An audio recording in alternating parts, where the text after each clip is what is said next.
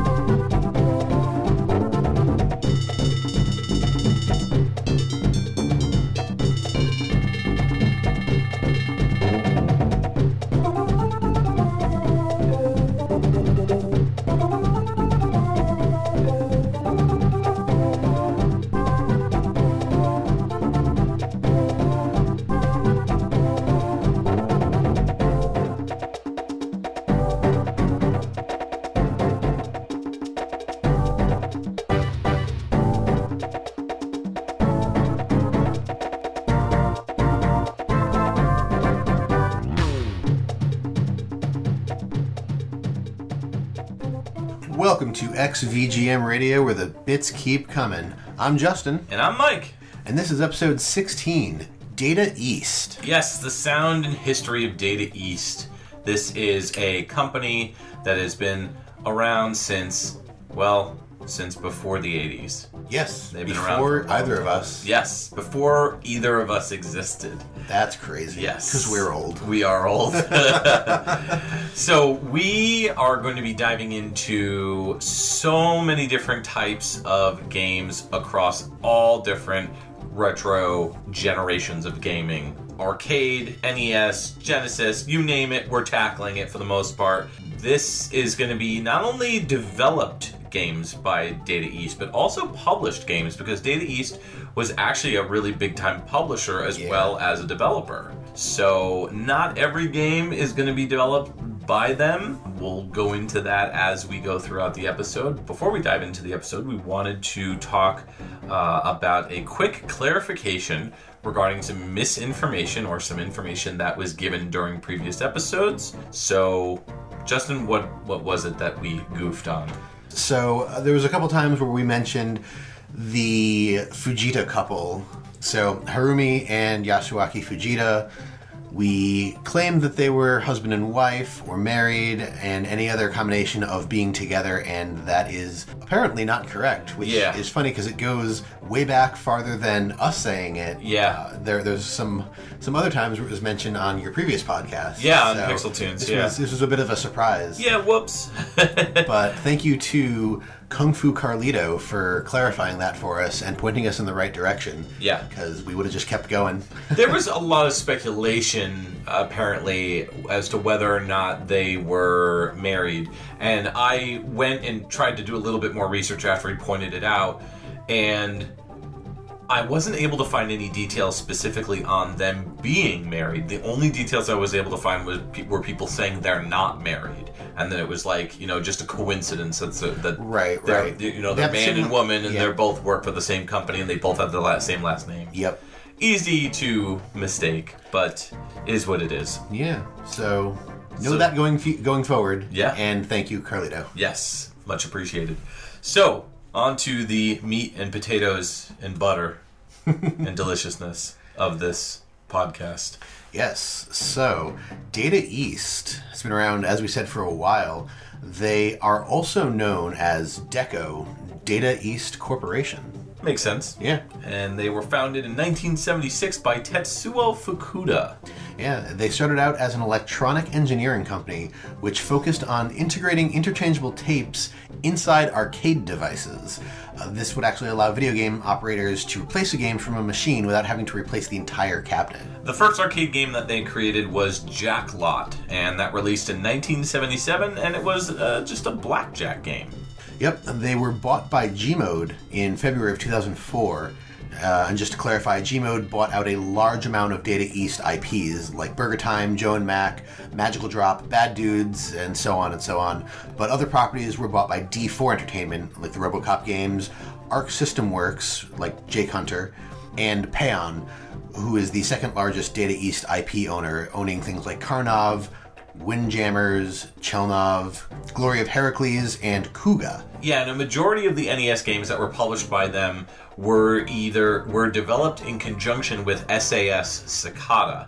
Uh, Data East properties and licenses that these guys worked on had them brought on as hired guns to bring to the NES. It's basically converting their arcade classics to the NES. They were established in 1985 and they continued to develop for Data East up until the Sega Dreamcast, believe it or not. Yeah.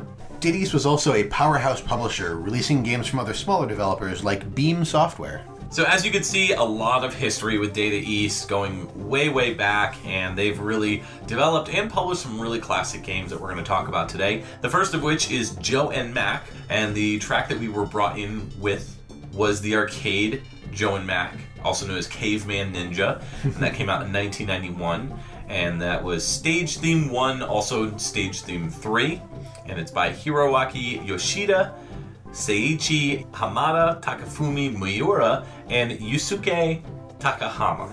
Yes. So, what do you think of that track? Uh, it was really bouncy. It was uh, really interesting. I don't Yeah. know that I've ever actually seen this game. Oh, no? In in real life, I've taken a look at some of the some of the levels and some of the playthrough. Sure. Obviously, in preparation for this episode. Yeah, yeah. But uh, I've, I've never seen the arcade cabinet or any of the ports. Hmm. But the song itself, it almost had kind of like an island, like an islander type Yeah. of. Uh, A little bit like Super Adventure Island, a little bit. Yeah, yeah, there you yeah, go. Yeah, it's got that bouncy Caribbean vibe. Yes, you know what I mean. Not quite reggae, not quite Caribbean, just like kind of in between. Um, like steel drums would have fit in there. Yeah, definitely. And I I would say I really love the the like bass strings getting pulled. Yeah. uh, the, like the whoa Yes. right before the loop. That that's one of my that's a really nice touch that they just kind of sprinkled in. But Yeah. I've played the Joe and Mac games for the most part. I think I've played almost all of them in one incarnation or the other. The Caveman Ninja was the original title, and then when they brought it over to like Super NES and Genesis, they were like, "All right, well, we can't call it Caveman Ninja. Like, what are we gonna call it? Because Caveman Ninja doesn't make any sense, anyways." so No, I mean he's a caveman and he's a ninja, right? Yeah, but mean, I guess- caveman ninja. Yeah, technically, Joe and Mac doesn't make any sense either. I mean, how many cavemen did, would you think that you know? Who- who- you, me, uh, I, Joe, you, Mac. Oh, you know, like, That's fair. yeah, I, Joseph, you, Mac, Mac a million, Macaroni. macaroni. yes. Joey Mac. They should have called it mac and cheese. Oh yeah, that would have been fun. So this game is a action platformer where you're basically hitting dinosaurs, like angry evil dinosaurs, and you know, not basically not uh, going after like other evil cavemen to rescue the women of the tribe that have all been captured basically Ah. so it's like a damsel in distress sort Yeah, of yeah. you know old school kind of vibe and that's the first game. So Joe and Mac itself on the Super NES, and I believe it also came out on the Genesis. That game was a port of this game, like a pretty much a straightforward port for the most part. I think it added a couple things, like it added an overhead map, like an overworld map or whatever, kind of like Super Mario World. Yeah. So that is the Joe Mac series. It's a lot of fun. They're they're entertaining games. They're goofy. They're slapsticky. They're you know all the characters are really well animated and just really goofy and funny. Now the composers we're gonna talk about. You're gonna hear these names quite a bit, so we'll just slightly dive uh, into.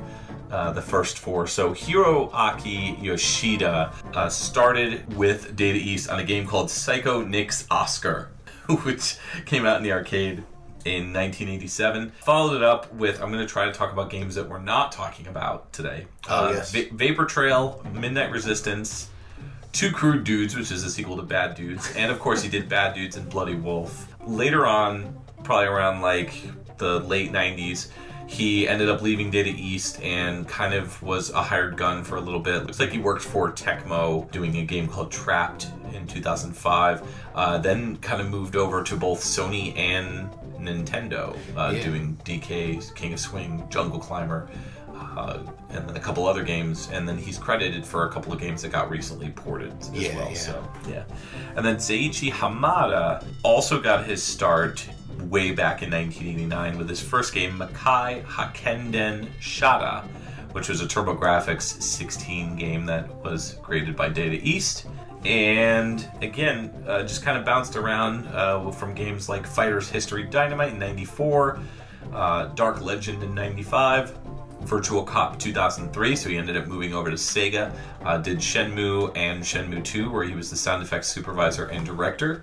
And uh, then moved over to the Jake Hunter series. So he kind of went back to his roots with Data East, or at least with a Data East property, because at that point they were already bought out by that Oh, company, yeah, by yeah. Arc System Works, or there was a company that sold Jake Hunter to Arc System Works, basically, and then moved back to Sega for games like Virtual Tennis 4, Daytona USA, and Shenmue 1 and 2. He was credited as the sound section assistant for the re-release. Yeah. So Takafumi Miura looks like they started out uh, doing game sounds or arranging game sounds for Rampage in 1988. Uh, moved on to do more sounds, uh, a lot of sound and sound team credits.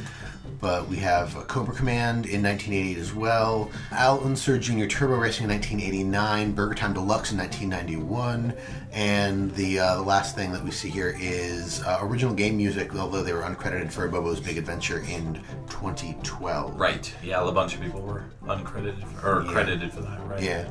And then Yusuke Takahama started in 1989 with Makai Hakkenden Shada doing sounds.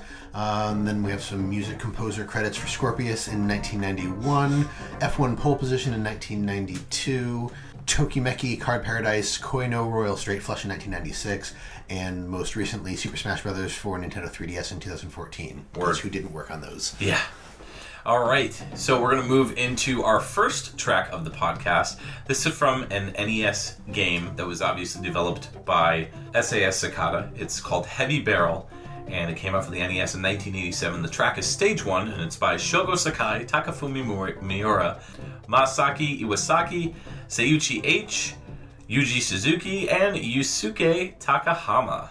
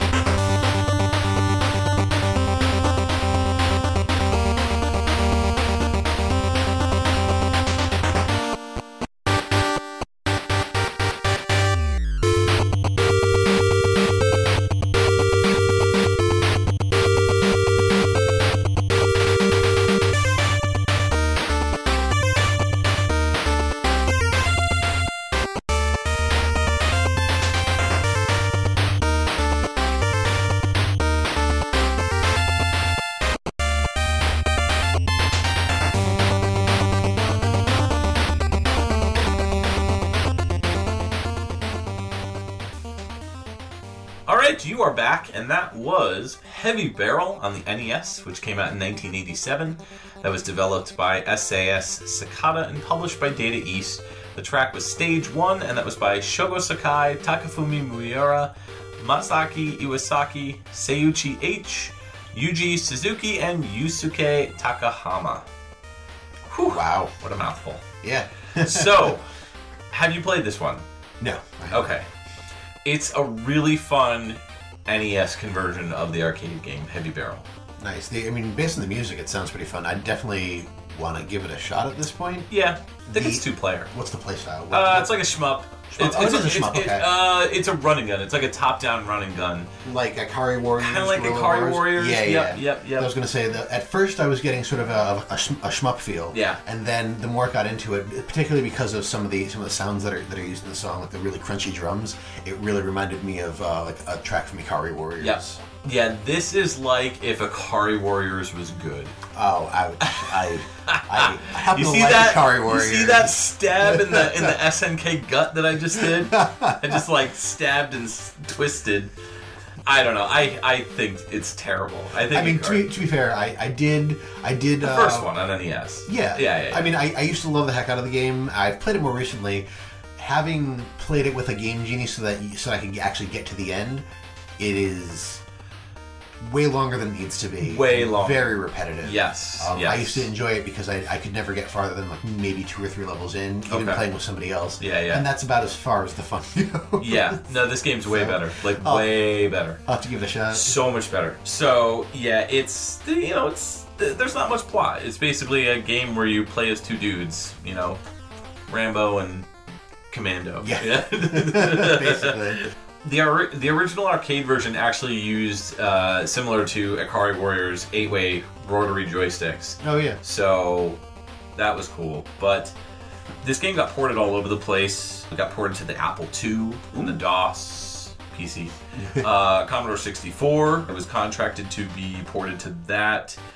Um, I guess the development company folded though before it could you Ah. know, be released, unfortunately. And then more recently, it was ported to the Data East Arcade Classics disc, which is actually quickly becoming a very rare Wii release. Really? Yeah, it's basically got a huge chunk of Data East like most popular games. Yeah. I believe it's all the stuff that Gmode owns. Oh, gotcha. So they basically like dropped everything that they had on this one disc, and people are, you know, it's getting harder and harder to find. I actually have a copy of it, Oh, and nice. uh, it's it's you know really solid collection. So if you're listening to this podcast today and you're like, where can I go to play all these games? Definitely check out the Data East Arcade yeah. Classics collection on the Wii. It's really fun. Not much to say about the game, basically involving terrorists, and you're playing as two dudes who have to infiltrate the base. So Just to save the president.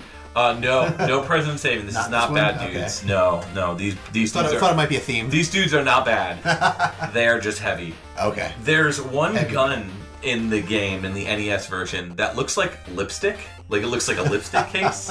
And I don't know why, but I always remember that because the gun is ridiculously big. Like as compared with all the other guns, because it's like you know you get the pea shooters and all that stuff, and then there's like this giant cannon that you have to fire, uh, and it's like the most like powerful weapon like you know in the game or whatever. So that's Interesting. the big takeaway from from this game. But yeah, a lot of fun, good game, great soundtrack. This track really, really reminds me of the Bad Dudes NES game. Okay. I, I was thinking about picking that, but like it's such a like everybody picks that song. You know what I mean? I mean, Like yeah. eh, from that game. So I wanted to try to do something a little different. I hope the Bad Dudes are not offended. I'm sure we'll be talking about them all throughout this podcast because they are bad and they are dudes. Dudes, yeah. Yes. And uh, the, the the track itself was was really cool. Like I said, it sort of reminded me of something out of uh, Ikari Warriors, mostly because like those crunchy drums. Mm-hmm. Yeah. I actually really like that that sound. And there's a lot of Nintendo games that use those like those drum sounds. Yeah. And it, it tends to it, it tends to sit well with me, unless it's really poorly used. um, I also really liked the bass line that, that ran through it. Yes. Um, and it was interesting because when the bass line stopped, I feel like the bottom fell out of the song. Okay. But then, but then like it, it comes back and I'm like, oh, there it is again. Yeah. We're good. We're going. definitely the driving bass Yeah. line drives pretty much the entire track with those really snappy, sharp drums that kind of go throughout the uh, the entire song. Yeah. It's also got some really nice like harmonized melodies as well. So I I just think it's a great action track. It's a great way to open up the podcast as well. You know, Oh, yeah. aside from the fun little Joe and Mac song that we had. So Yes. it's a little bit more serious. All right, so composer-wise, Shogo Sakai has done so much stuff. Not only with Data East, where he started in 1988 arranging sounds for Rampage, but later on doing work for Nintendo. He was a leading music composer in Kirby and the Rainbow Curse. Part-time UFO, he did sound design. Kirby Battle Royale, he did sound and also something called Wandersong in 2018, uh, where he's credited for quote unquote Mother 3 in 2006. But other than that, yeah, he's mostly done Kirby, uh, Super Smash Brothers. He did music for Sm- Super Smash Brothers Brawl, Kirby Air Ride. You know, he's worked pretty heavily, probably with uh, Jun Funahashi when it comes to the Kirby soundtracks. Left Data East probably sometime in like the mid to late 90s. So. Takafumi Miura worked on Rampage again, 1988. Pretty much almost all the same games, uh, working alongside SAS Sakata. Ended up leaving SAS Sakata in the mid 90s uh, after releasing Magical Drop, as well Oh, as uh, Heracles no Eikō 4, which is uh, Glory of Heracles 4. So Masaki Iwasaki, again, very similar credits. You're going to see this all throughout the podcast. Uh, did a lot of work with the Metal Max series, we're going to be talking about. High Seas Havoc and Dashin' Desperadoes. Uh, Street Slam. Uh, ended up working for Sega with Zombie Revenge. And Magical Drop 3, uh, kind of like again returning back to his Data East roots. And finally ending up uh, working with Shogo Sakai on the Kirby games with Kirby Mass Attack, where he did sound effects, and Kirby and the Rainbow Curse in 2015 did sound design. Very cool. Uh, so Sei- Seiuchi H only has the credit of programming on this game, but the other two we have here, Yuji Suzuki has a short list starting with Captain Silver in 1988. They were a sound creator. Al Unser Jr. Turbo Racing in 1989, they did sound. Lock and Chase in 1990, uh, they did sounds on that as well. And their last credit was Silent Debuggers in 1991 doing sound. And finally, we have, I believe we just talked about Yusuke Takahama, but to give some other games that I did not previously talk about, uh, Side Pocket in 1990 they did sound on, uh, Boulder Dash in 1990 as well, Kickmaster in 1992, Ribbit King in 2003, and Sonic Colors in 2010 they were sound editor. Very cool. All right. But it looks like we're getting a call Oh, pretty okay. early on in the show. Uh, let's go ahead and see who this is. As XVGM Radio, you're on the air. Who am I speaking with? Hello, I'm looking for Officer Lewis. I'm sorry, there's nobody here by that name. This is a radio station. This is Robocop. Patch me through to the Detroit Police Station. Okay, hold on. Let me transfer you to my friend Tone. Tone, who is that? Well, I mean, that was really cool. We got to talk to Robocop. He was kind of a jerk, though, but hey. Let's listen to one of Robocop's tracks from the arcade game. This is the main theme that came out in the arcade in 1988. It's by Basil Poledouris, who did the original movie soundtrack of Robocop, and Hitomi Komatsu, who was the arranger.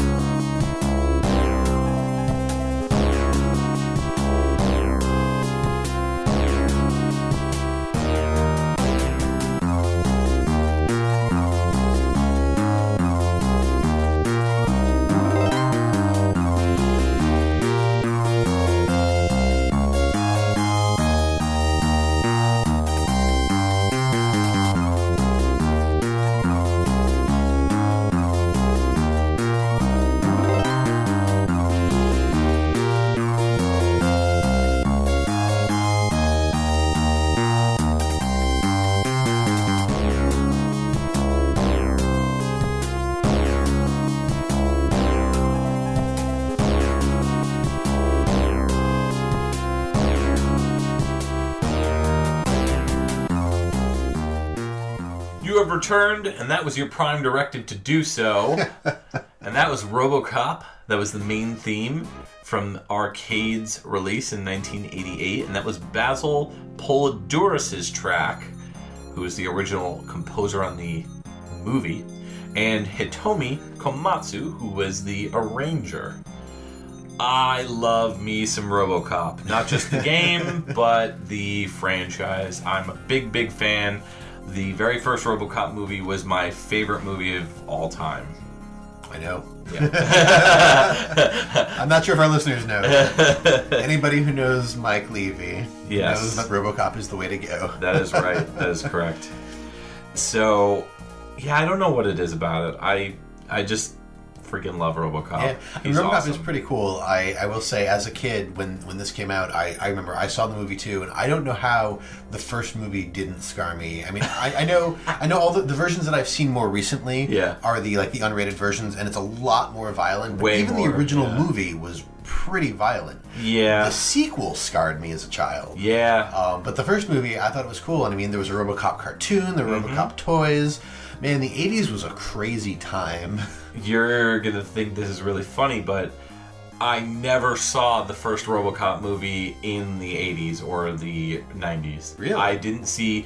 I saw it in like when I was in high school, Oh wow! and that's when it like quickly became one of my favorite movies. And then like I would watch it like all the time, Yeah. like in college and stuff. So yeah, it wasn't until then that because I saw it on TV and it was obviously the censored version. Yeah. So I didn't really see the original version till like I don't know the early 2000s or whatever or the late 90s. yeah. But yeah, growing up as a kid, the only reason why I knew of RoboCop was from the NES game, which was developed Right, by. SAS Sakata and published by Data East. This game is similar in concept. This is kind of what it's based on, so that's like again the NES version is the home conversion of this game if you want Right. to think about it. simplified. Yeah, pretty much, like much more simplified. This one's a lot more like arcade centric, I guess you could say. The gameplay, you know, definitely a quarter muncher, if Oh, you will. yeah, yeah. Uh, whereas the NES game is just kind of a grind Hmm. to get through. That game, the arcade game, is honestly a little bit more like player friendly, I, I would say. I really want to own this arcade machine. Like, it would be an awesome arcade machine to own. And it's one of those, like, holy grail type things. Like, oh, if I was a millionaire, you know, this yeah. is one thing I would really buy.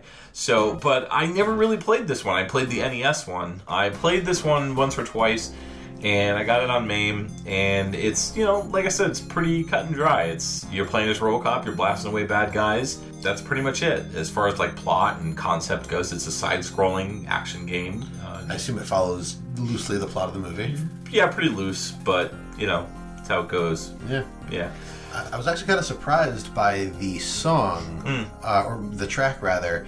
It feels far bouncier than a RoboCop track should be. Okay. Like, Uh, yeah, I guess I could agree with that. I can see where it's coming from because th- this actually is one of the movie, so- uh, the, one of the movie tracks Yes. arranged, right? Yeah, this is basically RoboCop's theme. Yeah. Or his theme song, like where he's going to, you know, take out all the bad guys or Yeah. whatever. It's like a slight sort of montage, if you will, of him like Right, beating right. up bad guys. Although now, now that I think of it, I should probably rescind what I just said because this is something from the '80s, and Yeah. I mean, with you think about how movies are made nowadays. If it's a dark and gritty movie, it's it's got know, like dark and gritty music, Yeah, uh, and, and it's, it's really grungy. Yeah. In the '80s, like we, there, there, there, the, the music was all over the place, but it I mean, Prince was in Batman. yes, yes. so you know, I, I take it back. It feels wrong because uh, I have a, a today mindset. Sure, sure. But for for what it was, it's actually probably spot on. Yeah. The one thing that I that It's I very superhero-y. Yes, yes, Yeah. exactly. That's Yeah. that's sort of it. And like, I don't see I don't see RoboCop as a superhero because he just Yeah. murders everybody. Well, RoboCop was based off of Iron Man as well as uh, Rom. Uh, and also a little bit of Judge Dredd as well. So Judge Dredd, I can definitely see. Yeah. The, the the the level of violence carries over. The Iron Man, I'm surprised. Yeah, yeah, and then Rom, who is uh, another like Marvel character, like a robot. Or whatever. Yeah. I like how this track starts off and sounds like you're putting in quarters. That dun it, dun it, dun it, dun it, dun it, bah. and then the track kind of starts off. This track is a lot more like there's a lot more to it than the NES version. Literally, the NES version is just da da da da da da. It's Yeah. just that blah blah blah blah. You know, uh, over and over and over again. But this song here is a lot more it's flourished out it's blossomed a lot more it's you've got that do do do do do do do kind of like twinkly beginning Yeah. and then even like more towards the end where it kind of like adds to the end of the track with the da da da da da da Oh, yeah, da da. You didn't really get that in the NES version. That wasn't present. It was literally just da da da da da da. You know, yeah, so yeah. limited capabilities. there. yeah, yeah. But this version of the track, uh, arranged by Hitomi Komatsu, is it's it's just different, but it's it captures the heart and soul of the RoboCop games. So Yeah, uh. Hitomi Komatsu worked on Psycho-Nics Oscar in 1987, then moved on to Bloody Wolf in '88 for the TurboGrafx, and I believe arcade, Vapor Trail in '89, Midnight Resistance in '89, Hippodrome in '89, and then a game that we'll be talking about a little later, Act Fancer. Oh yes. Yeah, and uh, Basil Poledouris is actually labeled for a couple games. Uh, RoboCop 2D, which is an original freely released me- remake of the RoboCop arcade game. So basically, they're credited for The original this game soundtrack. that got re-released, Oh, right? wow. And that was in 2004. I don't know if that got an official re-release. I think it did. It was really re-released on PC by Titus. Gotcha. Uh, also, the Conan game in 2004 was credited for Anvil of Crom and Battle of the Mountain, I believe. And uh, RoboCop 2D2, RoboCop vs. Terminator in 2005, uh, which is a sequel to RoboCop 2D. So, Very cool. yeah, yeah. And that has music from the Terminator and RoboCop games. Or RoboCop movies. Movies, So, yeah, yeah. Yeah, yeah. So that's pretty much it. Uh, he died in 2006, I believe. So, unfortunately. But it's about uh, it's about it. Pour That's one it. out for Basil. Yeah, yeah. Pour, pour one out for Robo.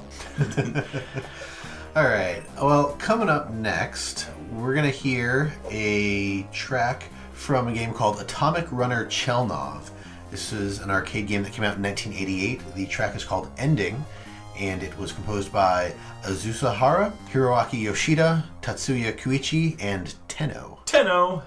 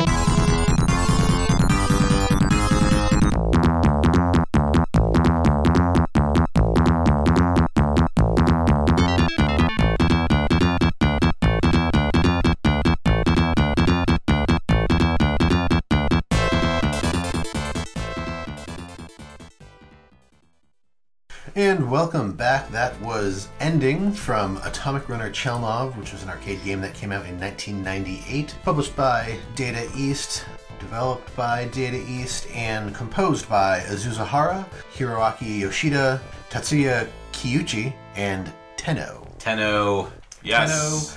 So you haven't played this one, right? No, no, I, uh, I, I actually didn't even realize that it was ported uh, a couple times Yeah. until uh, until just recently. Yeah. Um, it also ha- goes by a couple different names. Uh, it's known as Atomic Runner Chelnov, Chelnov Atomic Runner, Atomic Runner Chelnov Nuclear Man, the Fighter, and, uh, Atomic Runner Chelnov Fighting Human Power Plant. Yeah. Yeah, it's got a bunch of different names. Yeah, it's uh, pretty pretty interesting. But from you know taking a look at it, it is a side-scrolling, uh, constantly side-scrolling run and gun type of game.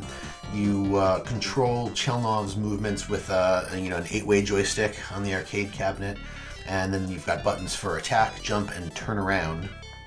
And he can get six different types of weapons that you can collect and power up to improve his like attack power, height jump, turnaround, stopping speed. Yeah, he can jump like really crazy high, if I Yeah. recall. yeah, no, there and he, he, can, he can jump pretty high, and then you can make him jump even higher. well, it- there, there's all sorts of different power ups in this. The the plot of the game centers around specifically this is about the arcade game because the plot was actually changed in the Genesis and other ports. But so the original plot of the game was uh, Chelnov, who, if you are familiar with Karnov, Chelnov is a, a relative of Karnov. Uh, he's a coal miner who miraculously survives a malfunctioning power plant that explodes. Um, his body gains superhuman abilities due to the radiation, you know, classic power Right, up from right, uh, right. the comics Yep. by that explosion. And then a secret organization tries to, you know, kidnap him and harness his abilities for their own evil plots. Right. Um, and then he has to battle and defeat the secret organization using his newfound superpower. Yeah, it's it's inter- it's interesting because it's very controversial uh, Oh, yeah. back in the day. This game came out right around the time of the Chernobyl incident, the disaster where they had a meltdown of uh, a Russian nuclear power plant, and so it's just kind of I don't know. They tried to pass it off as like ironic, where initially they said that.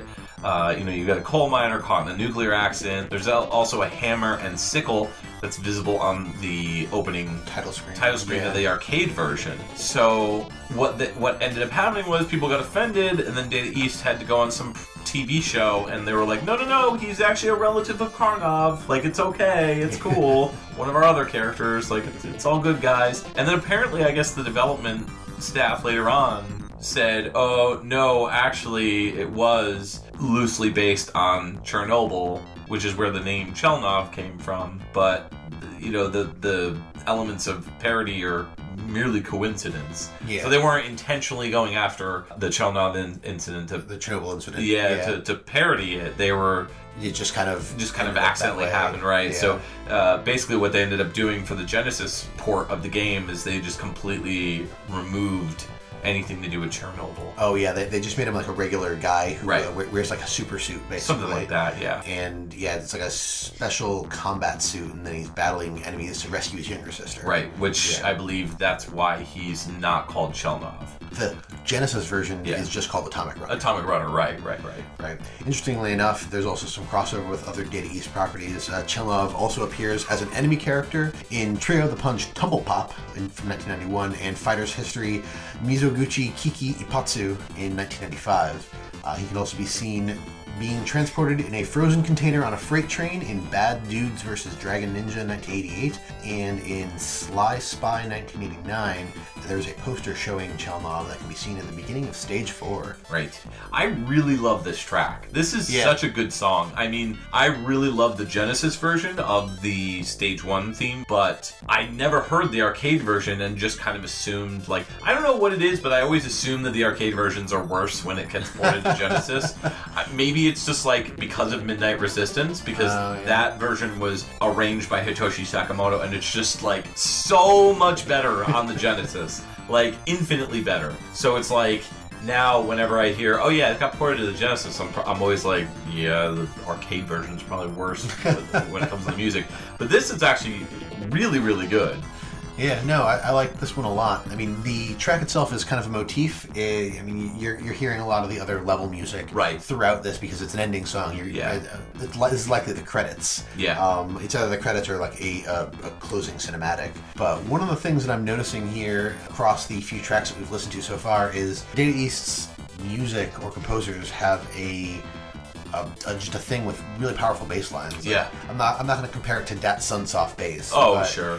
The, Two totally different things. Yeah, yeah, but the the bass lines. One involves DAT, Yeah, exactly. Right. and the other doesn't. this, this is just that Data East based. yeah.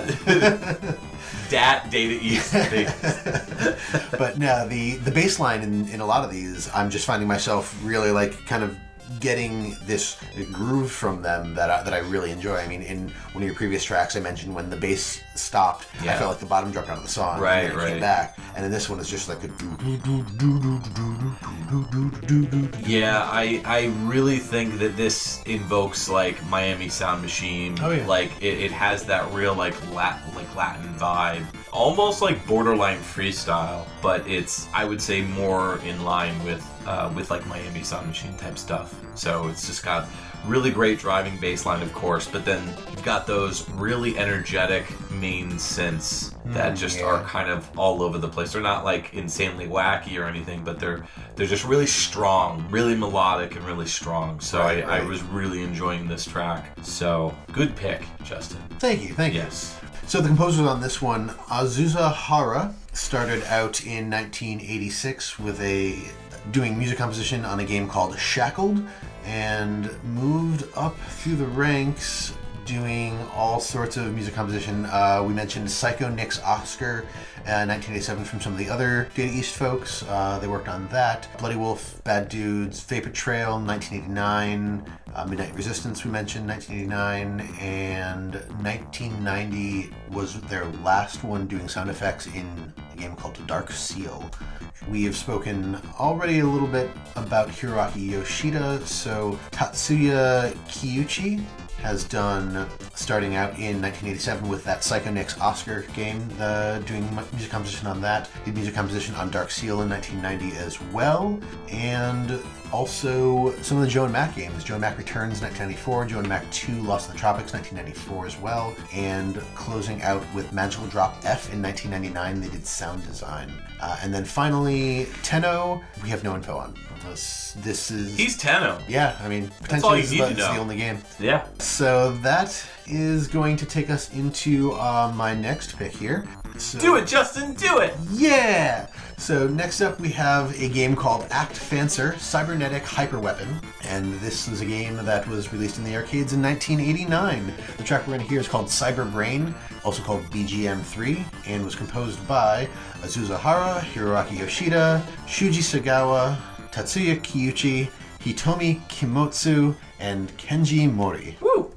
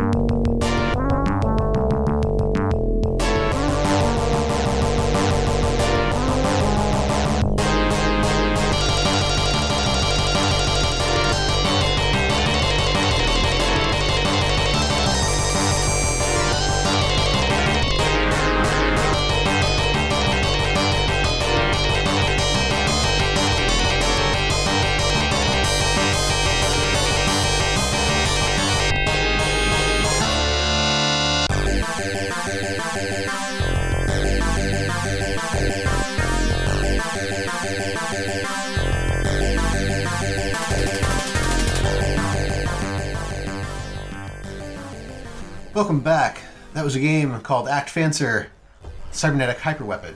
Sounds fancy. Sounds fancy. Act Fancier. Act fancier. That came out in the arcade in 1989. The track was called Cyberbrain, also called BGM 3 or Background Music 3. And it was composed by Azusa Hara, Hiroaki Yoshida, Shuji Sagawa, Tatsuya Kiyuchi, Hitomi Kimotsu, and Kenji Mori. Let's just do the composers just to get it out of the way. Get out of the way? Because there's a lot, and it's a lot to cover, but we've already talked about a lot of them. True, so- true. So I just talked about Azusa Hara in the last break. Right. Hiroaki Yoshida, we talked about. Uh, Shuji Sagawa did uh, composition for this and Bloody Wolf, and that's Okay, it. All right. Tatsuya Kiyuchi, I just talked about. Uh, Hitomi Kimotsu, I think we touched on earlier, but just to Yeah, double the check. uh, yeah, yeah. RoboCop. Yeah. Yep, RoboCop. Yep. Uh, and then, so the only other one we have is Kenji Mori, and he did this and Dark Seal. Sweet. Nice. Cool. Knock it That out was- the park. For, for, for a lot of people, that went far quicker. Yes, much quicker. so, this game I've not played. I've never even heard of it, to be honest with you. So this game is actually a run and gun. It is a very interesting looking game. So you are the uh, a cyborg guy battling against aliens. Uh, and the aliens are actually kind of gross. They remind me sort of like the aliens from like the xenomorphs. Uh, Okay. Like they, they don't necessarily look like the xenomorphs, but they are very like what's the word? Heady? Ba, no. Thick-headed, No. egg-shaped heads, What- what- salami heads. salami. No, they are not xenomorphs. biological aliens. I mean, all aliens are biological. What's the word that I'm looking for? Meaty. Meaty aliens. You're a meaty alien. I am. Nice. Nice. Thank you. So sweet of you to say. No, but they're they're really weird looking. Is all is all I can say. I I can't think of the word, and I will probably think of it like an hour after I leave this recording. Probably. But they're often like small, really low to the ground. They look kind of gross and, and slimy and and weird. Sounds delicious. but it, it reminded me sort of like a combination of a run and gun and like a Gradius. Like the bosses Okay. often were, you know, stuck to the right side of the screen, um, and you were just you know throwing stuff at them Sure. to, to kill them. Deli meats. Yes, Yeah. usually um, like deli meats uh, all over them. Yeah, yeah. But yeah, there, so there's a couple of power ups uh, that you can grab as you run through the game. There's a blue orb uh, and a red orb. The blue orb powers up your Fencer One evolution, so you collect five five of them, and you you you evolve into uh, into a new guy that runs and guns. And then there's a red orb that increases time on your Evo timer. Okay. Which, uh, if the Evo timer runs out before you collect a, a blue orb, you del- you devolve one level. So you, you collect the blue orbs and you, you power up, uh, and then the red orbs kind of give you more time to be in that powered up form. But then there are six forms, and they are all named in the manual apparently. So your initial form is called Nuts. What? Really? Your ini- initial form, Nuts, fires forward. You revert to this form upon being hit by an enemy, uh, and any of your other forms. Your, uh, your, so that's your initial form. Your first form, your first evolution, is called Sis. That fires two shots aimed at the ground, which will ricochet and destroy um, enemies. Your second form is called Chiffon. Uh, you are a thin, see-through fabric. Really? Like chiffon the fabric? C H I F F O N. Okay, okay. Um, but no, so your third form fires three projectiles at the ground, which explode on impact, and jet flames fly, fly out of it. Your third form is called Ix. I C K X. I'm just trying to pronounce these things here. Um, you fire five projectiles in a fan like pattern uh, from above the fencer, uh, which is you. Your fourth form is called Benebu. Benaboo? you're gonna laugh at every one of these. Uh, actually, no, that's probably the last one you're gonna laugh at. The fifth form is called Ares, and your sixth and final form is called Zakros. Um, and Zakros fires missiles into the air that are homing. Okay, okay. That's ridiculous. It is. It's a pretty ridiculous game. I, I remember seeing this a while ago and thinking, "Wow," that was it. I really love from like 37 ish seconds until the loop of this track. Okay. It is just balls to the wall, awesome solos and craziness, and there's just so much going on. It's just like right up my alley. And then it goes into the loop, and I don't know what it is about that those initial notes. It reminds me of like 50s rock. Oh, yeah. You know, like that. No, no, no, no, no, no, no, no, no, no, no, no, no. Like that. That I don't know. And it's just like I don't know. Maybe it's just the arcade tone uh, that they use, but like it just sounds really flat to me. So like the initial like first ten to twenty seconds of the track, I'm I'm not intrigued at all, and then it just totally grips me and takes me hold in the in the thirty second range. Yeah, a lot of the a lot of the music from this game is sort of like that. Yeah. Um, it it I wouldn't say that it's all over the place, but they, it often starts out kind of weird or or a little bit flat, and Yeah. then picks up partway through part partway through the track. Cool, neato. Yeah. All right. Well, let's move out of the arcade and into the NES. We're going back and we're going to be listening to a track from a game called Werewolf The Last Warrior on the NES. This came out in 1990. Now we're going to be cheating a little bit. I'm picking two tracks. This is stage theme, Human and Werewolf. How dare? How Dare by Shogo Sakai, Takafumi Miura, and Yusuke Takahama.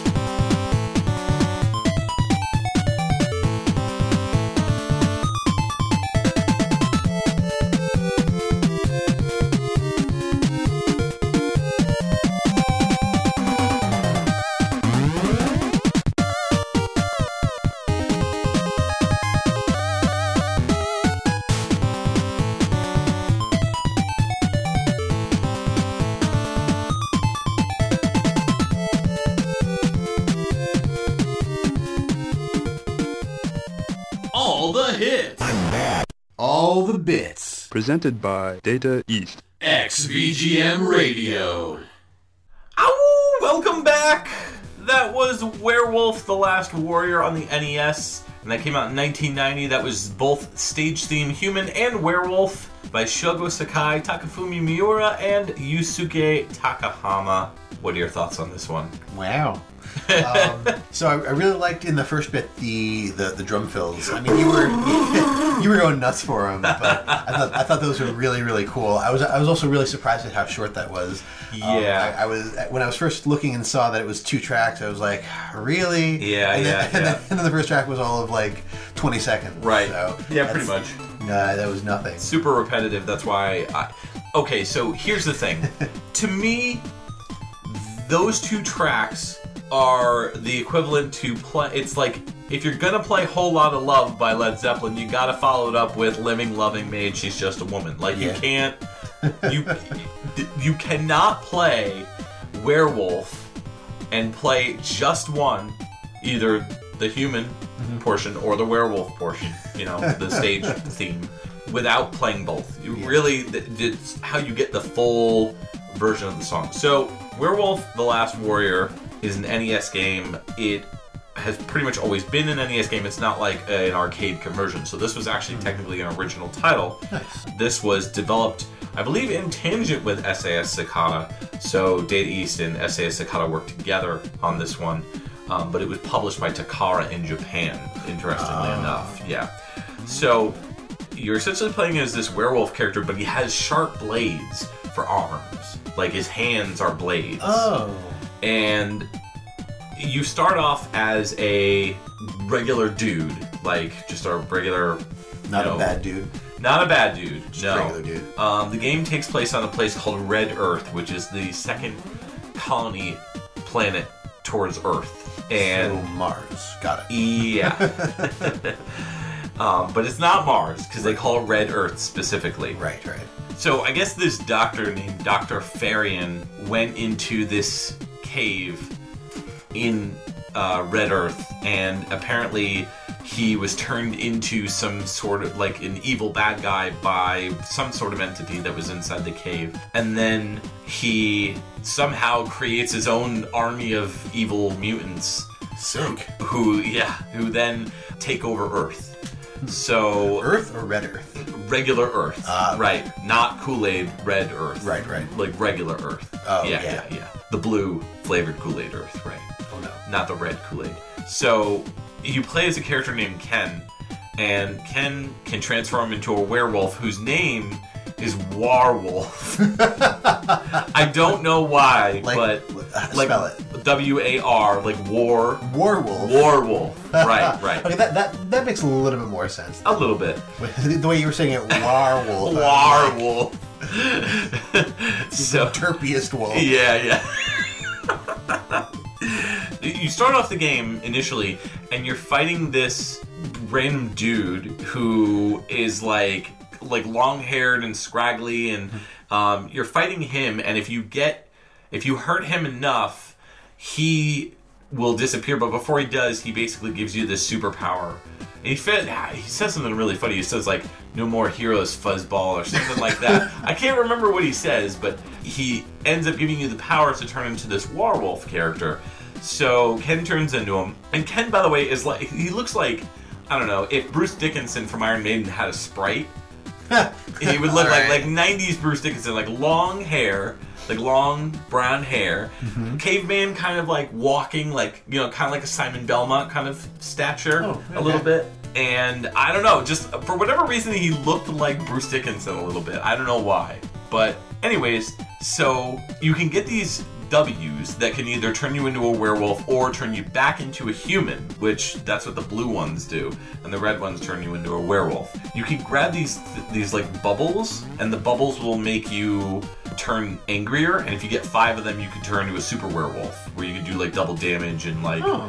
yeah, you're more powerful. There's also this gun power up that you can get. So I was going to ask because you you mentioned that that that it, that it might be based off Marvel property. Right. Warwolf from Marvel. Yeah. Is like a werewolf with a ton of guns. Right, right. So- So, what's really funny is a mutual friend of ours, our friend Brian, uh, used to play this game all the time when we were in college. And I'd never played it when I was a kid, so this was my first experience is basically watching him play this game. And he- you know, I've talked about this before on Pixel Tunes, but Brian and I used to come up with goofy songs and like lyrics to the songs. So at the part in the song, the werewolf version of the song where it's like da da da da, he would always go, "I got the gun" or, or something like that. So Yeah. I don't know why. I can't explain it. It's just Brian being goofy, but Yeah, it's it- yeah, pretty much. So I don't know. It's a really fun game. It's also a really difficult game. There's really difficult platform mechanics where like you have to grab onto a pole above you, but you have to do it just right. Like it's really hard to do. Hmm. You know, it's pretty much like an action side-scrolling, you know, platformers kind of game. So, um, fun game, great soundtrack. I, I love the use of toms in both of these songs. Yeah. Yeah. You know, uh, just both of them have killer toms, like some of the best on the NES, in my opinion. I can see that. I, I will say the the second part of the song, Yeah. uh, the second song, um, I really really dug the melody. The so the last couple tracks, I was funny because a few breaks ago I was saying that oh I'm, I'm noticing a pattern of like Yeah. Mm-hmm. really strong bass lines and stuff, and then like almost as soon as I said that, the next few songs we listened to didn't have really strong. bass Yeah, lines. yeah, Like, yeah. they were there, but like this one, I don't like. I don't feel like it needed a bass line. Yeah. Uh, I mean, I'm sure it, it, there was one there, but like the melody really carried. The melody and the drums were like top notch in this. Yeah. absolutely. Yeah. So we already talked about Shogo Sakai, Takafumi Miura, and Yusuke Takahama, so don't need to repeat ourselves there. We're gonna jump into the next track, which is your pick. What do you got for us? Yeah, so next up, we're going to hear a track from Captain America and the Avengers. The track is called Stage 5. The game came out in the arcades in 1991 and was composed by Tomoyoshi Sato and Tatsuya Kiyuchi.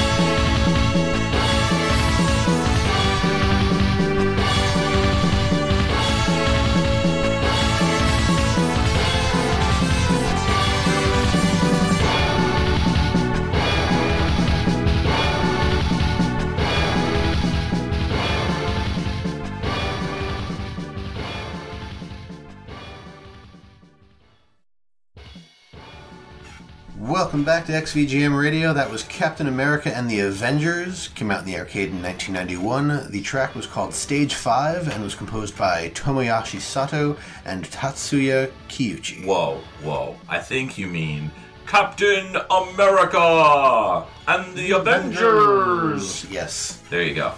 I love the use of PCM samples in this game. Yeah, yeah. It was. Uh, this, is, this is one that I have played. This was all over the arcades. Yeah. I remember this growing up, uh, as well as. I mean, a number of Marvel games. Yeah, yeah. Uh, but it- this this one was uh, well, like a beat 'em up action Yeah. adventure platformer. Yeah, yeah, yeah. Kind of like the you know the X Men games. Your health stuff. was quarters essentially. Where like your health would be like numbers and then like when you ran out of like health, which happened very fast. what an arcade game? No. Never. but you had to pump more quarters in. I only really played the Genesis port of this, which I own. So, what do you think of the track? Uh, so the You track, picked it. yeah. I mean, what, what did you think of the track? Okay, good question. I like those those synth hits.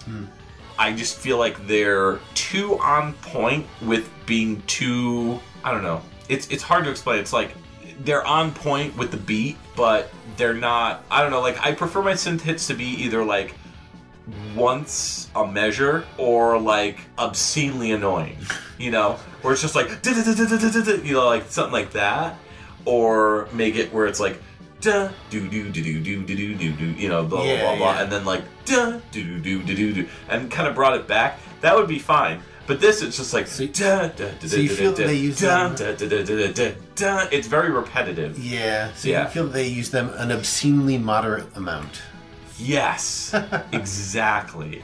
It's not my favorite song of the podcast, but not a bad song. It has like a very kind of sort of militant sound, mm-hmm. a little bit. But I think the thing that kills it for me is the repetitive nature of, Of the, the hits. Of the synth hits. Yeah, it's it's that they're either not repetitive enough or not laggy enough. Yeah. I don't know. It's hard to explain, but No, that's fair. I mean, I, I picked this one because I found it interesting. Like, it, it reminded me of something else. Like, it reminds me sort of of uh, the some of the music from Marvel vs. Capcom, specifically because of the synth hits. Right, right. Um, and I just sort of took to them. They're so they're not super common in a lot of the other tracks on this game.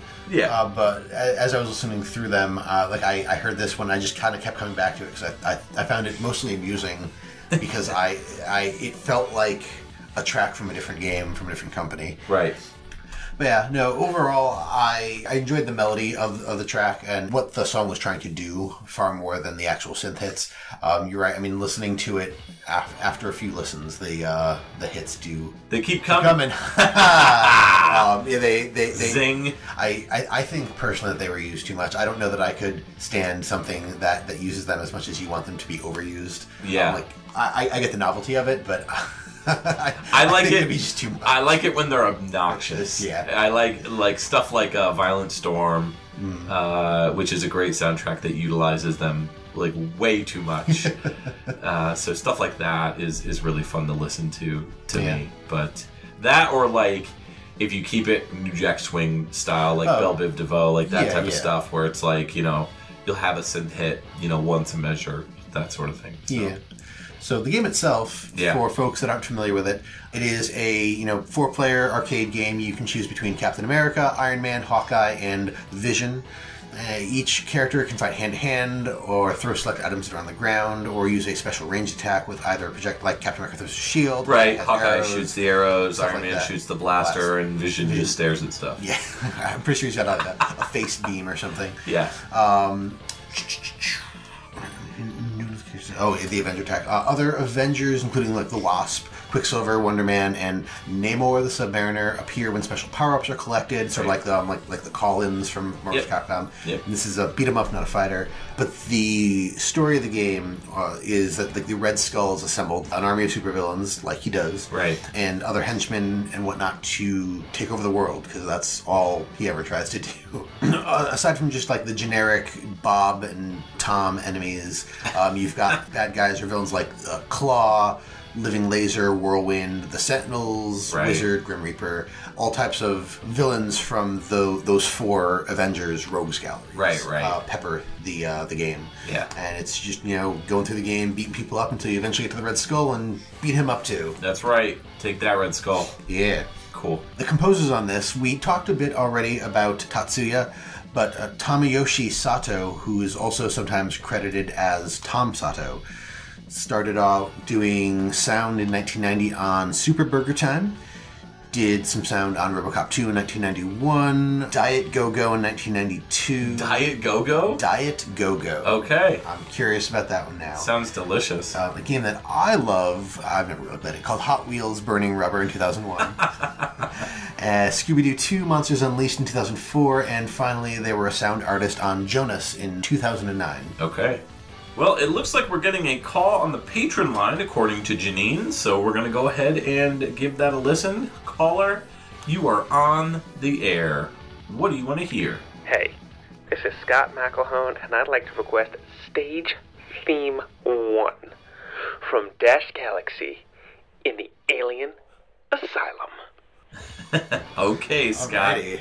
You got it. Let's hear Dash Galaxy and the Alien Asylum came out in the NES in 1990. This is Stage Platform 1 and it's by Tania Smith.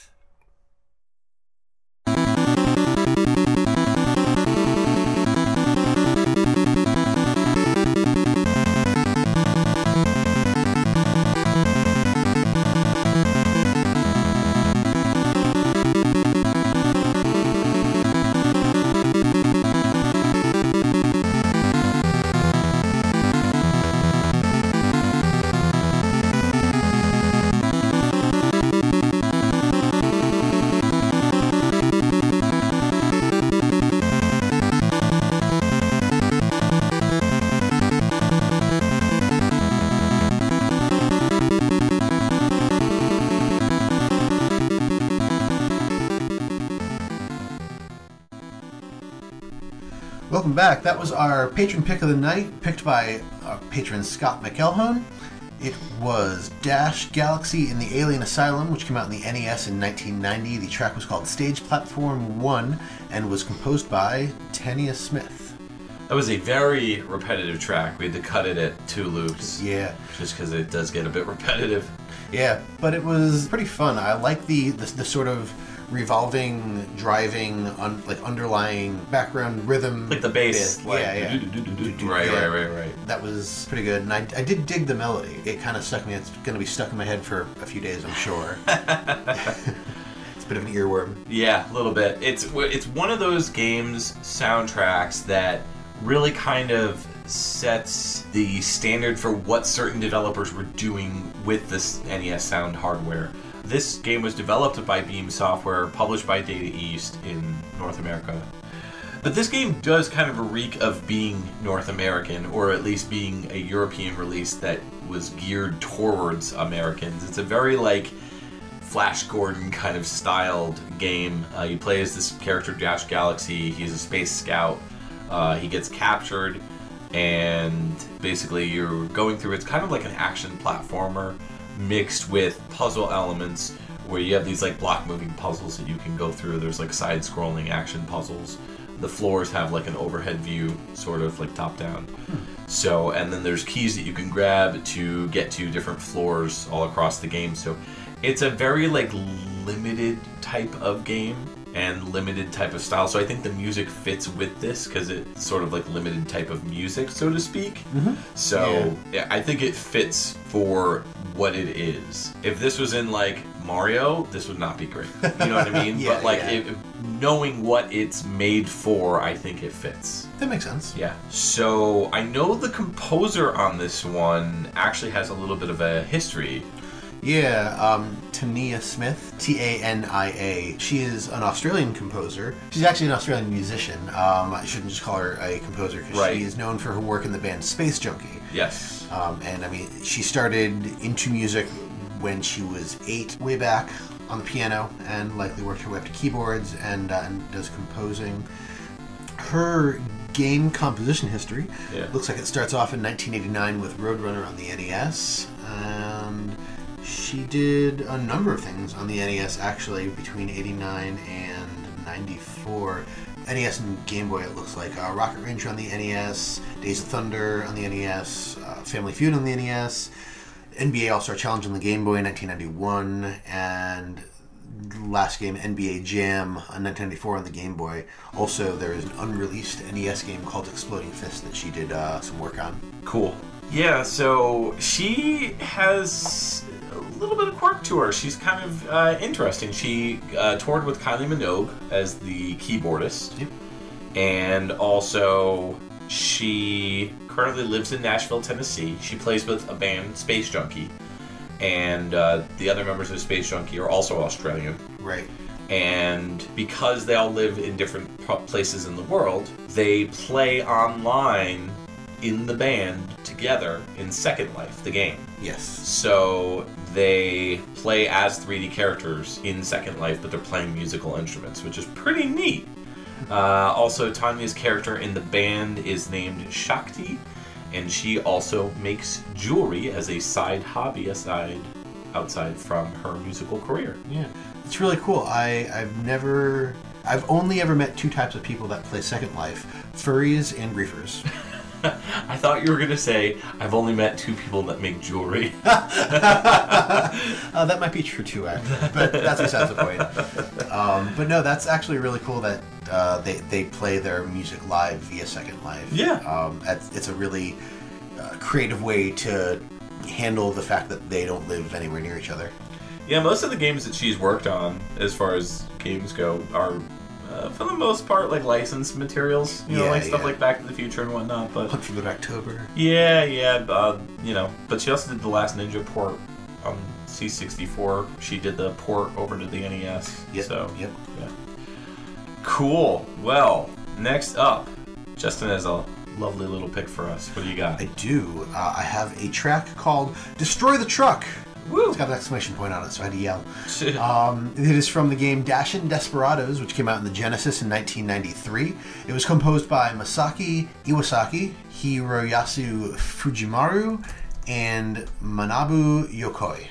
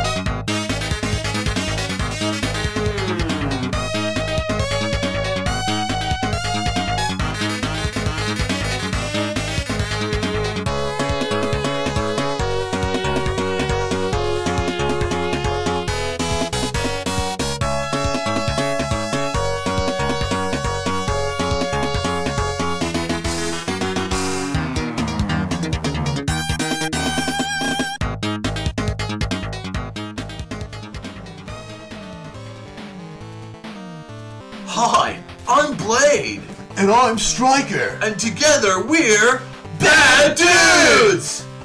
Do you want to be cool like us? Be bad, weightlift, hang out with bodacious babes, and ride tasty waves. I know I do. Striker, that's because you already do. Oh yeah, duh. Do you want to chat down on burgers with Ronnie Reagan? Uh, Blade, bro, I think he's. Then you need Bad Dude's deodorant. Spray or rub a stick of our patented scent all over your genitals and or armpits, and prepare for buns, guns, and funs. Get it while you can today. Bad Dude's deodorant comes with all you see here. Now available at all Right Made, Turget, and Nobody Weeps the Biz. Do not try to eat the stick or spray. Sexy buff people only. Sold everywhere except Utah. Note: President Ronald Reagan is dead. All consumption of burgers with him are strictly prohibited. Adults, get your kids' permission.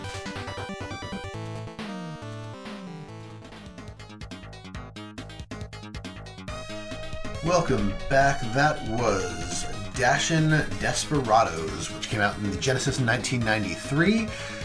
And the track was called Destroy the Truck, composed by Masaki Iwasaki, Hiroyasu Fujimaru, and Manabu Yokoi. I've never played this game, but I've heard of it. Same. And looking at it, the the box art is somewhat terrifying. Yeah. It's it's got some interesting claymation looking cowboys on it. Yeah. That look like they want to do bad things to somebody. But yeah, no, it's a platforming game developed and published by Data East. As I said earlier, it came out in 1993. It's got a one-player mode and a two-player mode, but the idea is that you are a uh, cowboy. In the one-player mode, you play as Will, uh, racing against your nemesis Rick. In two-player mode, one of you is Will, one of you is Rick, and you are chasing after a woman named Jenny, and you are running through the level, you know, platforming, jumping over things, trying not to get smashed by the uh, the, the the obstacles and, and enemies. Uh, and when whoever gets to her first gets a kiss. Okay. So it's it, you have to play this two player. No, no, no. Uh, in, the, in the one-player game, you, you just play as Will, um, and you are you're racing against Rick. Oh, okay. Um, I mean, either way, you're racing. So it's like Rick. AI controlled Rick. Exactly. Gotcha, Um, gotcha. In, in the two-player game, it's it's a little bit because both characters are players. Whoever gets to her first wins. Ah. In the in the, the single-player game, if uh, Rick gets to her first, he kidnaps her and takes her away. Okay, okay. Interesting. This track has a little bit of flashback to the Chelnov Atomic Runner track. Oh points. yeah, yeah, Yeah. Especially that that melody.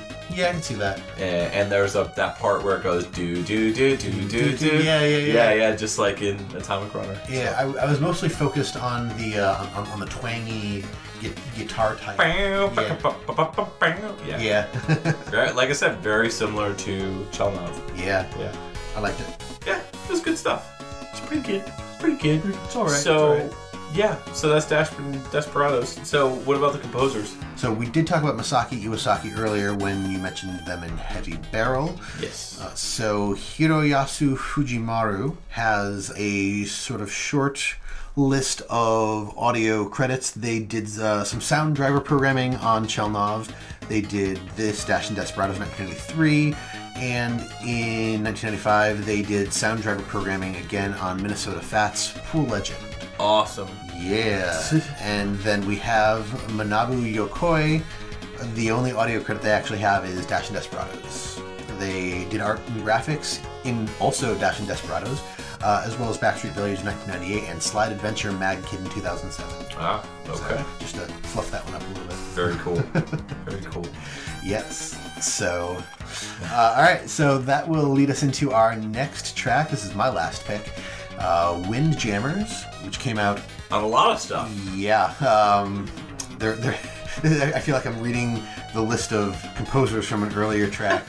so this came out in the arcade Neo Geo Neo Geo CD in 1994, on the PS4 in 2017, on the Switch in 2018. Yes. The track is called "You Gotta Power" Concrete Court, and it is composed by Seiichi Hamada, Tomoyoshi Sato, and Masaki Iwasaki. Dance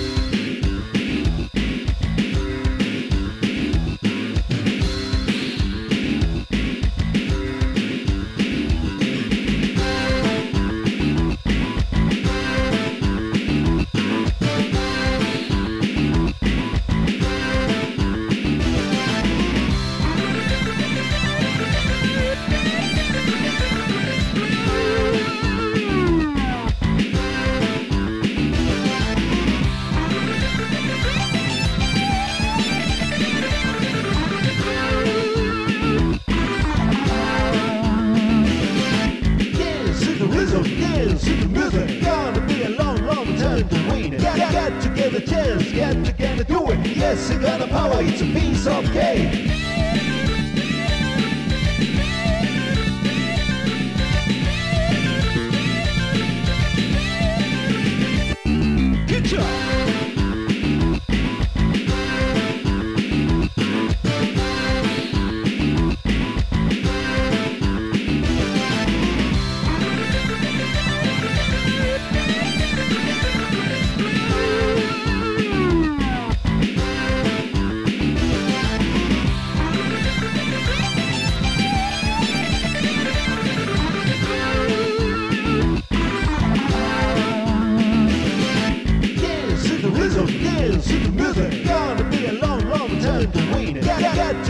To get a got to do it. Yes, you got the power, it's a piece of cake.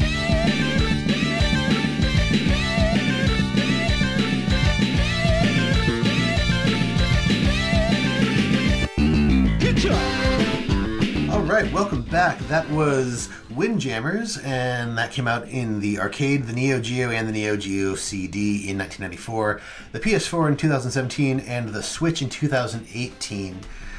The track was called You Gotta Power, Concrete Court, and was composed by Seiichi Hamada, Tomoyoshi Sato, and Masaki Iwasaki. This song is great. I love this song. it's so good. it's so goofy. I love those vocals. Yeah, you got Dance, power. dance to the rhythm, dance to the rhythm. It sounds like it reminds me of if you've ever seen the episode of It's Always Sunny in Philadelphia, where Charlie's singing, pretending to be Bob Dylan. And so he's Oh. just like, "Hey, everybody!" Like trying to do his best Bob Dylan impersonation. So Yeah. every time I hear "dance to the rhythm," dance, like as soon as it comes in, I'm like, Charlie. Every time, I don't know why, but I love this groove. It's so fun and fresh, and it's the perfect like song to hear while you're playing with Windjammers. Yeah, no, it, it's it's a, it's a lot of fun. Uh, I love the combination of sort of chiptune esque Yeah. music with the actual like. I, I don't know if you'd call them PCM samples because they don't sound. I mean, maybe they are, but they, Yeah. they don't sound scratchy enough to be PCM samples. If you know what I mean. Okay.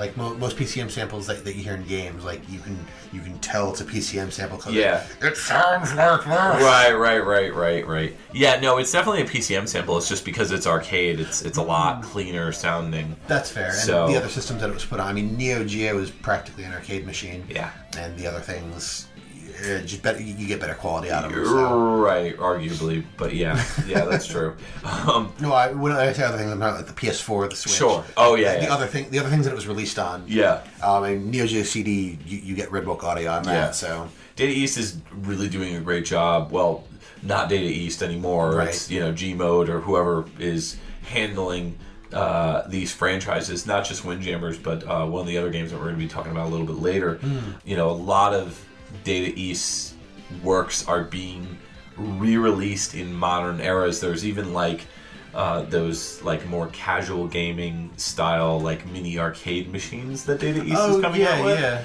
And so it's really cool to see Data East collections and Data East games kind of brought back into the gaming atmosphere on a regular basis so that way uh, these games don't die out and then people can play them and even some of their like really super obscure games are coming back into form so yeah, yeah. um, and I mean, even even at that, there uh, there, there is a, a sequel to Windjammers called Windjammers Two, planned for release on the Nintendo Switch and the PC in 2019. Right, so, right, I mean, it's it's making some kind of a comeback, which Yeah. is really cool. Definitely.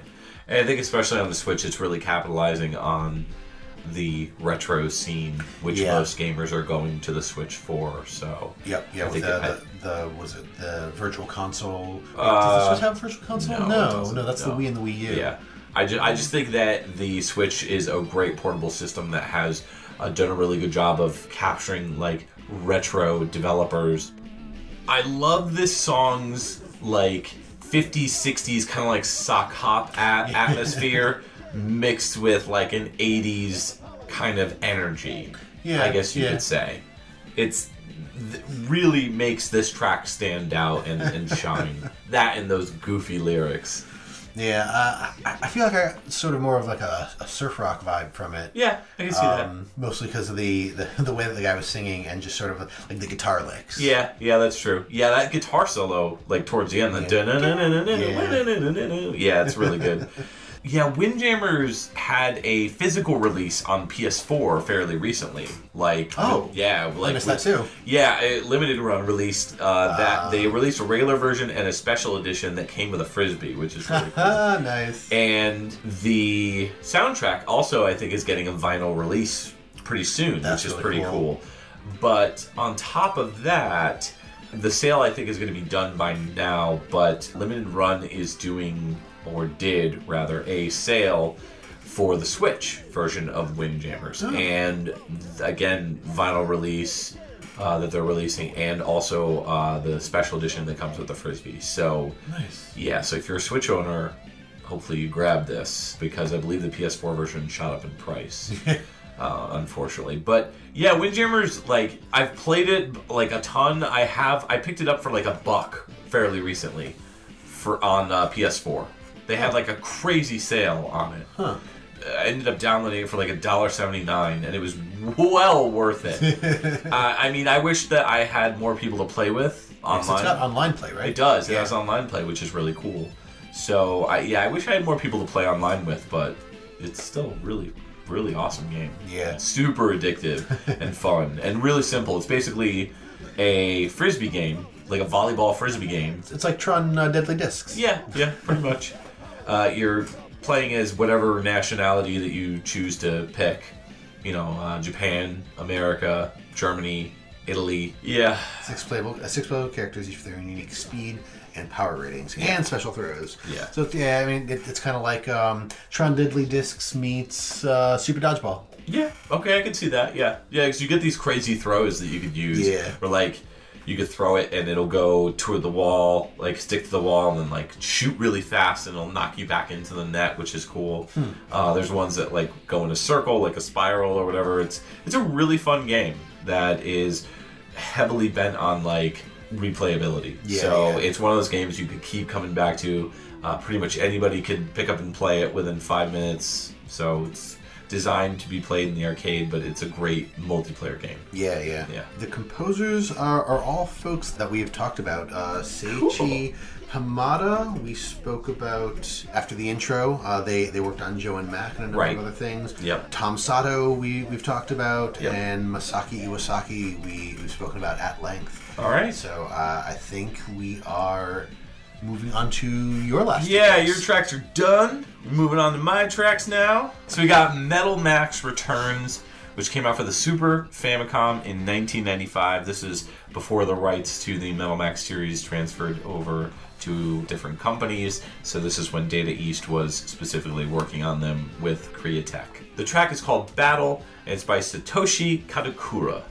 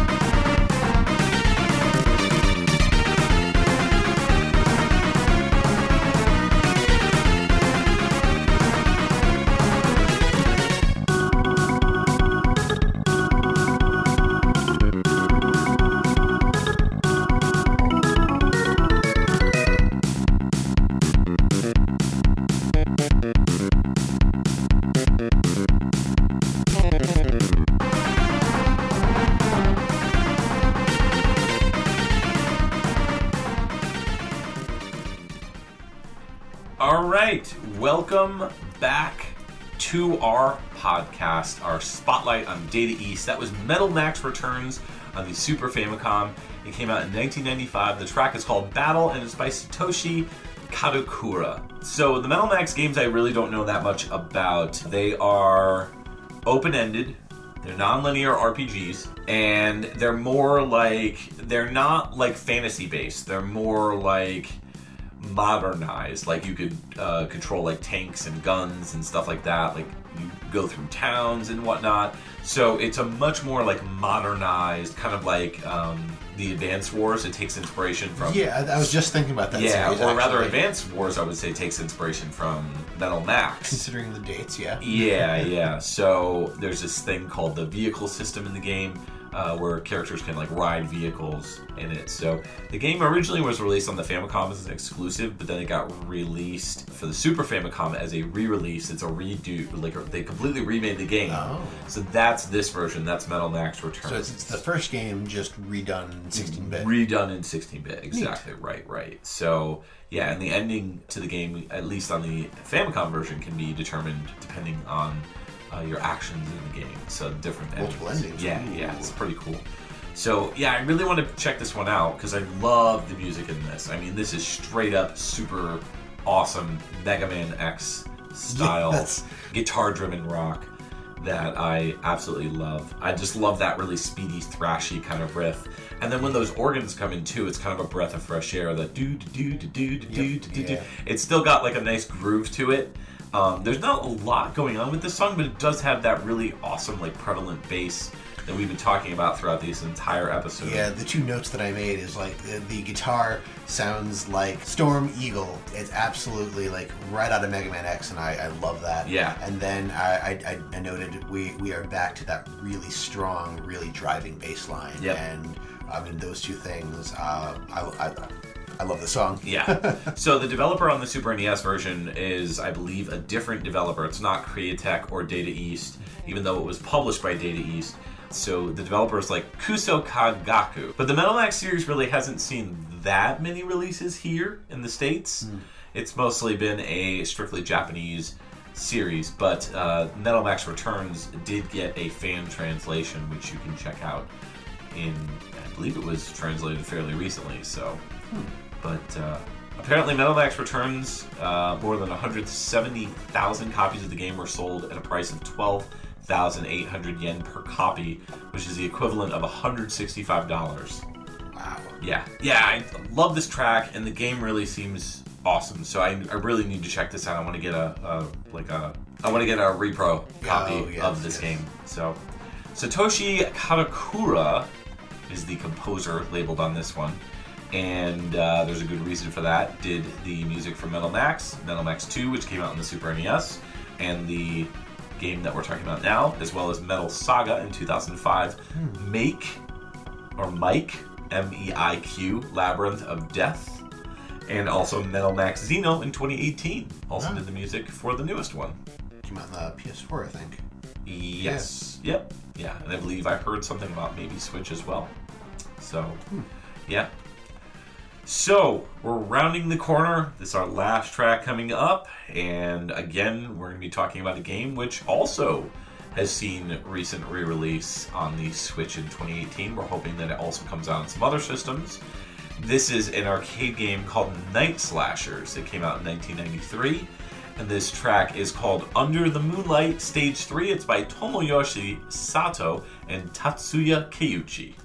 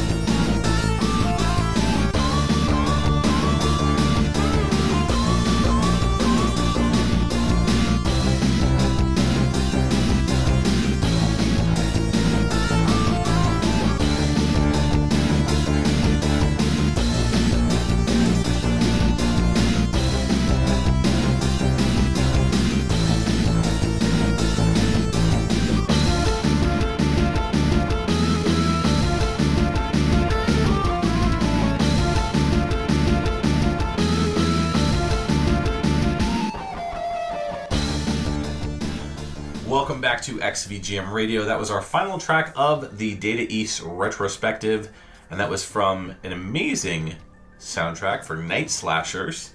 And that came out in the arcade in 1993, was finally ported to console uh, via the Switch in 2018. The track was Under the Moonlight Stage 3. It's by Tomoyoshi Sato and Tatsuya Keiuchi. So I found out about this game within the past few years, and it has. I've never actually sat down and played through it. I've played it briefly, but I've never played through it. Did you grab it on MAME? Uh, yeah, I downloaded it on MAME, and uh, you know, at one point or another, this was the only way to play this game because Right, it got obviously limited release in arcades, but it was recently released on the Switch, and honestly, it's one of the only games that makes me want to switch. that and also Ninja Warriors is getting a re-release. Oh. Ninja Warriors for the Super NES, Yeah. Ninja Warriors Returns.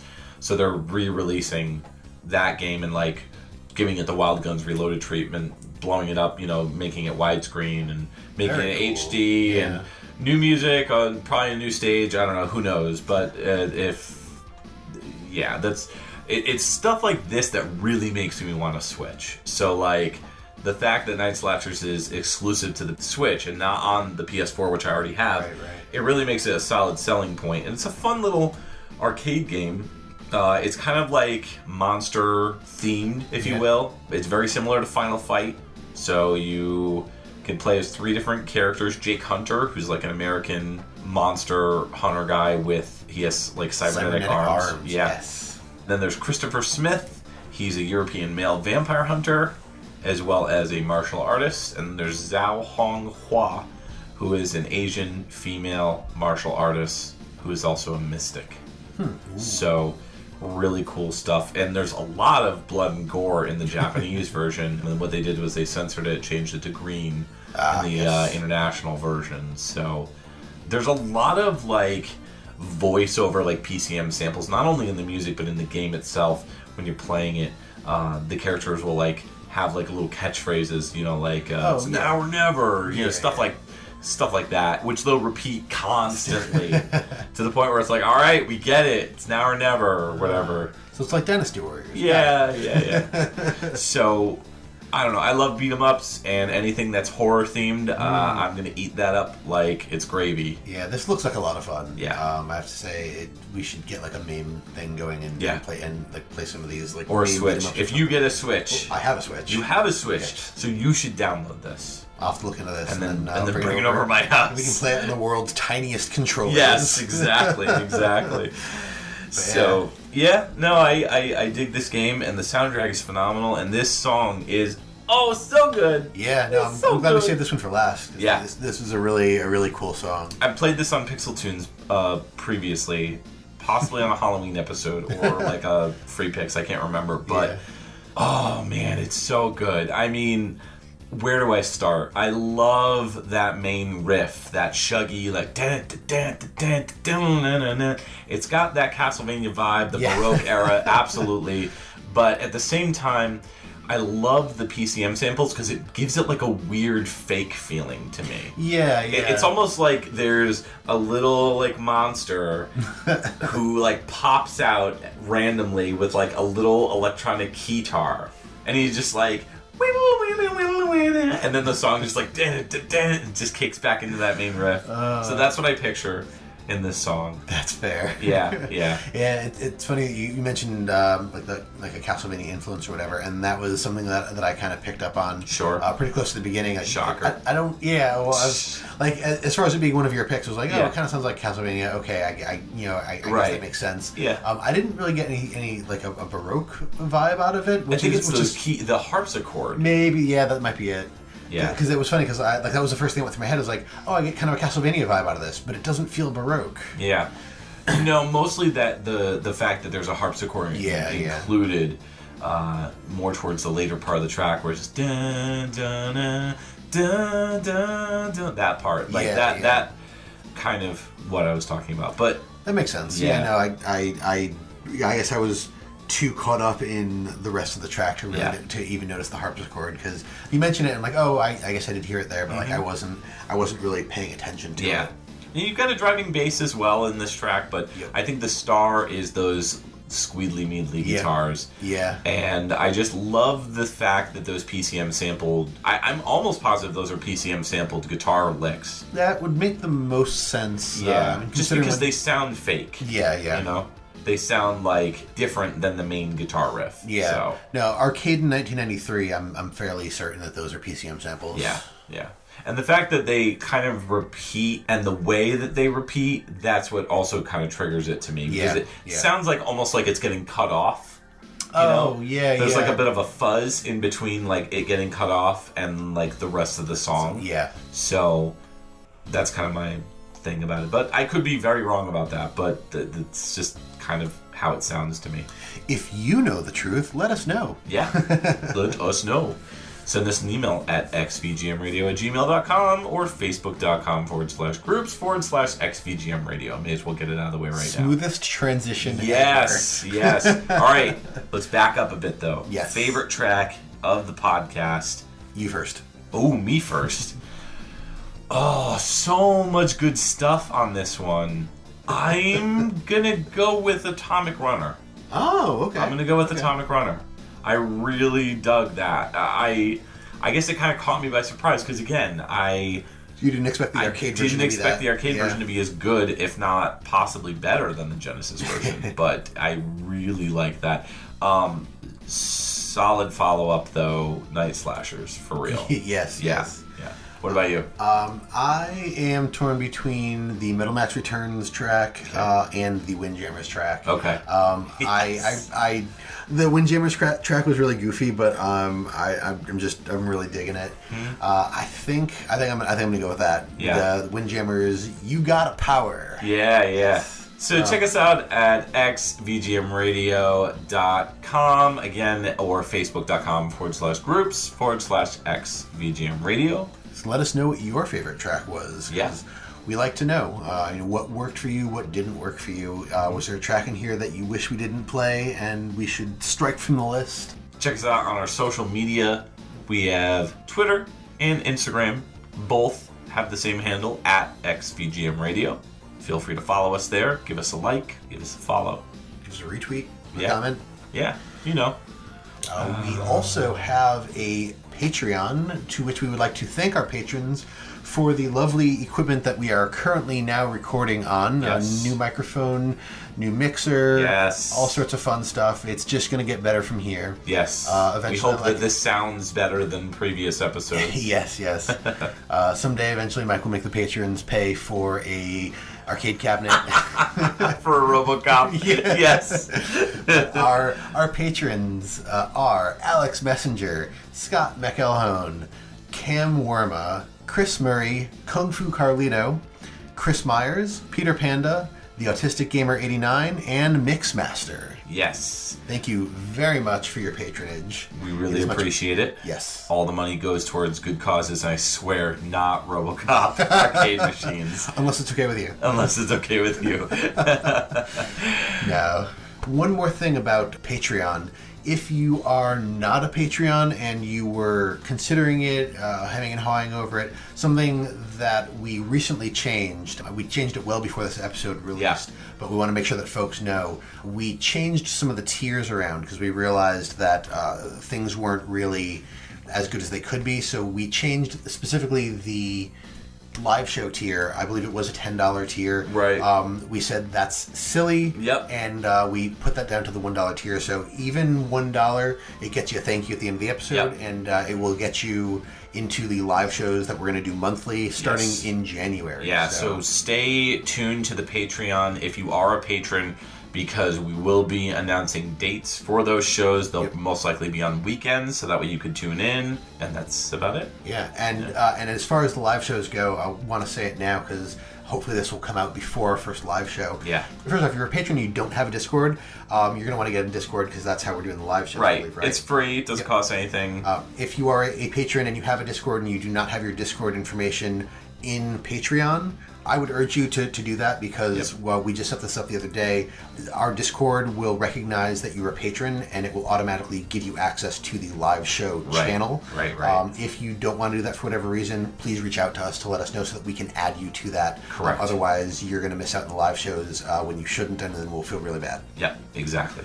Yep. All right, so coming up next episode, Super exciting. super exciting. We are joining forces with our good pal Nico, aka the Wee Guy, and we are going to be talking about Game Boy, the very first Game Boy, so the OG Game Boy, not Game Boy Color, not Game Boy Advance, just Right. original Game Boy games. Good old black and green. Yes. Or, or green and darker green. Yeah.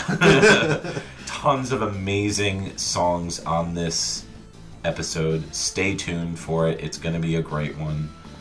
And we look forward to seeing you in two weeks. Once again, this is Mike And Justin, signing off for XVGM Radio. good night.